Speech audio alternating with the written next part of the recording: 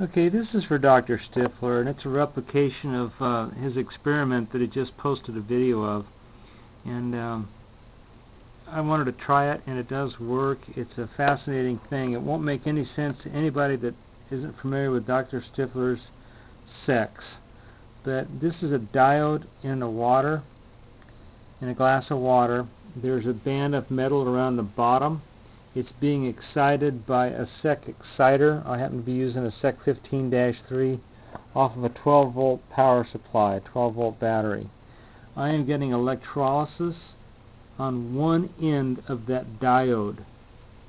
It's a capacitive coupling between the band of metal there and the diode. There are no bubbles forming on the bottom of the diode. The black band points down on that diode, only on the top lead and uh, I wanted to make uh, a video for Dr. Stiffler to uh, back up his findings. Um, this is pretty neat stuff. Thanks, Doctor, for sharing it with us.